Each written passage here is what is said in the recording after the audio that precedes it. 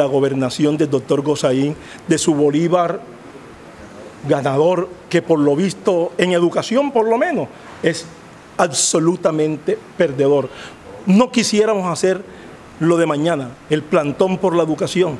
No quisiéramos tomarnos en la primera quincena de septiembre Cartagena con buses repletos de estudiantes, padres de familia, maestros de los distintos municipios.